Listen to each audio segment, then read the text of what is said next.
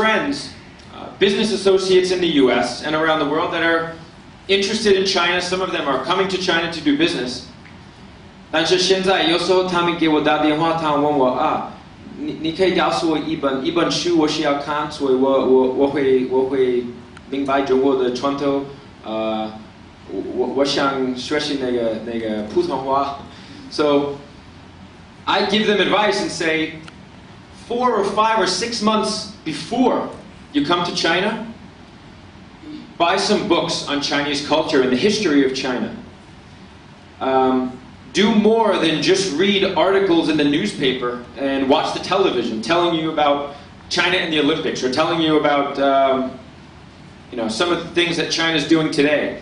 Um, buy some books, learn about Chinese culture, learn about Chinese history, and you will have a lot more success in business and with relationships and with communication when you arrive in China.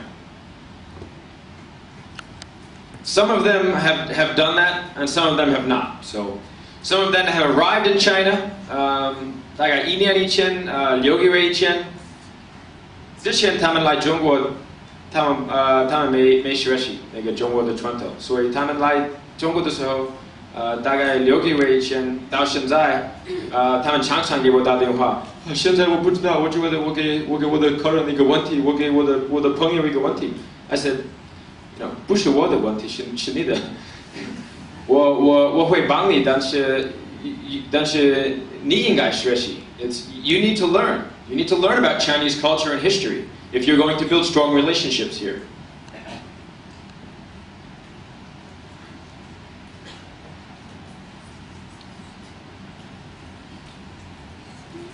Okay, so to strengthen business communication in China, I highlighted six points here that Westerners should do. Uh, again, Westerners include Americans and, and primarily Europeans. Okay, as an American, uh, as I just mentioned, I have some colleagues and, and, friends and business associates that have come to China, um, and some of these they've learned the hard way, as I did in the beginning. I, I, I learned the value of, of culture and Chinese history in everyday life in China. So, and this goes, in addition to this list, this goes for both sides. Um, in China, um, it's very common. 如果如果呃如果明天下午我有一个很重要的开会和我的我的我的呃大概我的我的呃公司的律师 啊，那个 Lucy，我们有一个重要的开会，我们在那个那个房间那个开会的时候，呃。